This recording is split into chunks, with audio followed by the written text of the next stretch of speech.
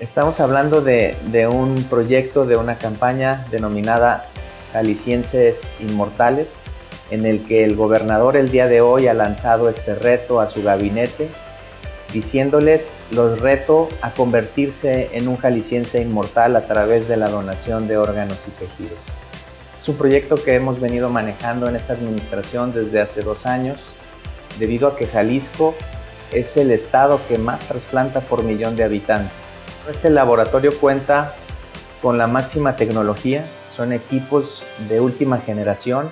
Esta tecnología es única y no existe un laboratorio como este tipo a nivel nacional. Por eso hicimos el proyecto pensando en el beneficio de los pacientes que se encuentran en una lista de espera y en aquellos que ya han sido trasplantados.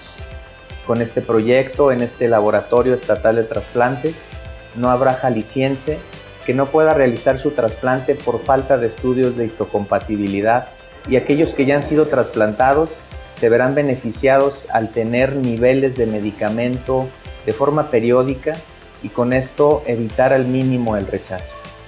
El Laboratorio Estatal de Trasplantes es innovación para el Estado de Jalisco.